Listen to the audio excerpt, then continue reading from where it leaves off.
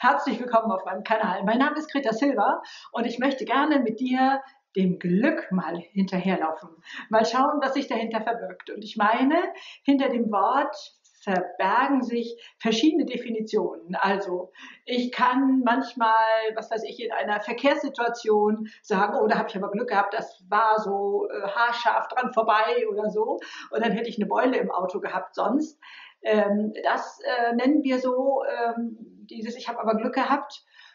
Aber wenn wir das manchmal auf andere beziehen, äh, naja, der hat einfach im Leben viel Glück gehabt, dann hört sich das für mich ganz anders an. Und äh, zu der Seite möchte ich gerne mal gucken, was steht da so hinter.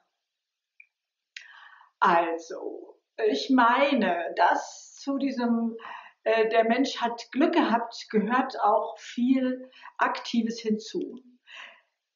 Es könnte doch sein, dass Glück haben oder dass, äh, dass glückliche Situationen, glückliche Umstände äh, bei vielen Menschen auftreten. Und der eine sieht es und der andere sieht es nicht. Das heißt, wir müssen erstmal eine Bereitschaft haben, das Glück überhaupt oder glückliche Situationen und Umstände überhaupt wahrzunehmen. Und äh, wenn wir sie dann wahrnehmen, dass wir auch zupacken. Das heißt, da bedarf es unserer Handlung, ne, dass wir das festhalten. Und dann, glaube ich, nicht nur festhalten, sondern auch erste Schritte damit tun. Denn ich sage mal, nur festhalten und damit in den Keller gehen, glaube ich, ist es auch noch nicht, sondern das dann umsetzen, diese Situation in die Wirklichkeit bringen.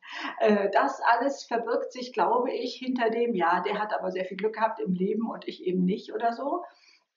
Mal abgesehen davon, dass da manchmal auch vielleicht ein bisschen Neid mitschwingen kann, aber äh, erstmal sich klar zu machen, ich brauche diese Bereitschaft, damit mir das auch passiert. Und ich brauche eine Tat, es festzuhalten und es umzusetzen und dann damit ins Leben zu gehen. Und in diesem Sinne wünsche ich dir ganz, ganz viel Glück. Alles Liebe. Tschüss.